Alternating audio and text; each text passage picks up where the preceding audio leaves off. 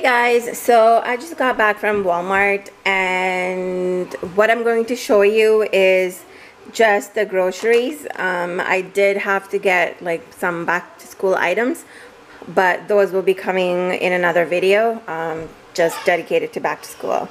So let's start at the back.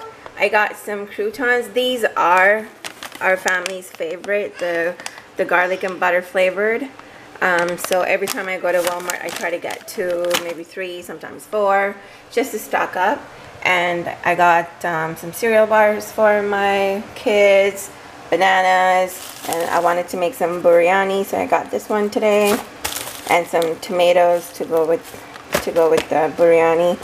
And I got some Ritz crackers, some gummies, pasta, lettuce, romaine lettuce, um, ice cream and hot dog, blueberry waffles, and these arrowroot cookies.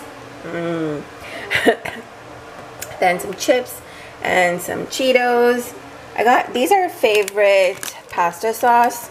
Um, I use this sauce for chilies as well as pastas, so I just got two.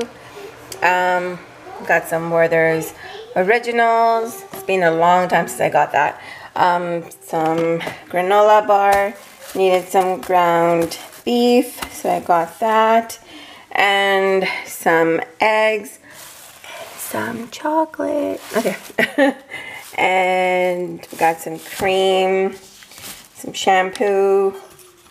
And these Axe body sprays. Yeah, I got two of those and some Dio. And I actually went for, I went for vitamins. Is this the only one? Hmm, that's weird. I have to check my bill because I needed the other kind as well, the complete one, the Flintstones complete which are not gummies, and then these are gummies. And I also need to get the vitamin D for my kids.